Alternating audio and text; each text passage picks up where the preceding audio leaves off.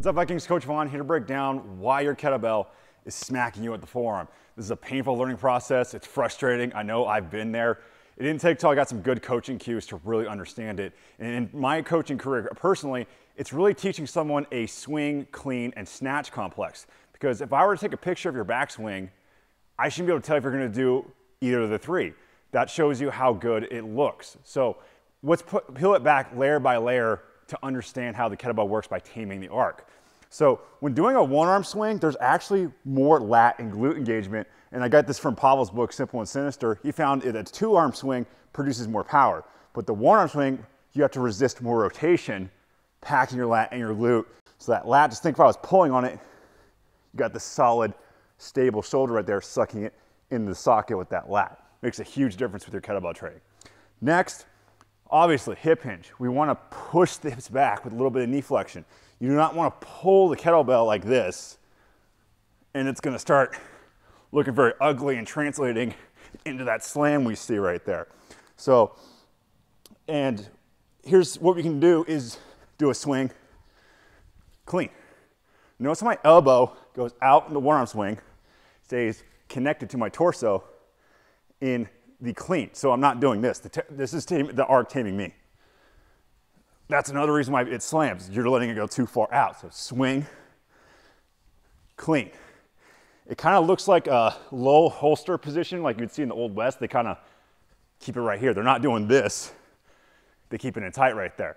So you can kind of teach that same thing with a lighter kettlebell and just think, keep your elbow connected to your torso and you're gonna zip up the jacket. That's another good cue right here. Think you're zipping up and zipping down the jacket. The elbow stays connected. And then that split second right there that teaches the hand to relax so it can rotate. Because if I death grip my hand right here, look at this. I death grip, I death grip. That's why it happens. But if I let my palm just open for that split second right here, it just naturally rotates. So give that little bit of time for it to rotate. Don't fight it makes a huge difference. So next, let's get to the snatch.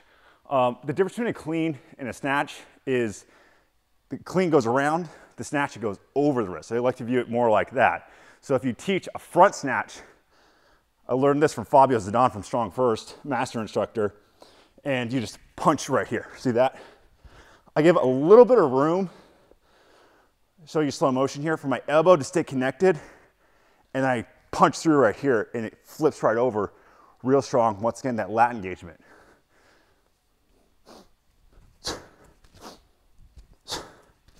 So if you have trouble snatching overhead, try the front snatch and that'll get you a better translation. Now I'll show you from the front here. We talked about that low pull position like that holster. Now you gotta have a little bit more of a high pull position up here so you can punch through. So you can try to get that down here. So high pull, is just driving with that hip. And then this, I just punch through, punches through.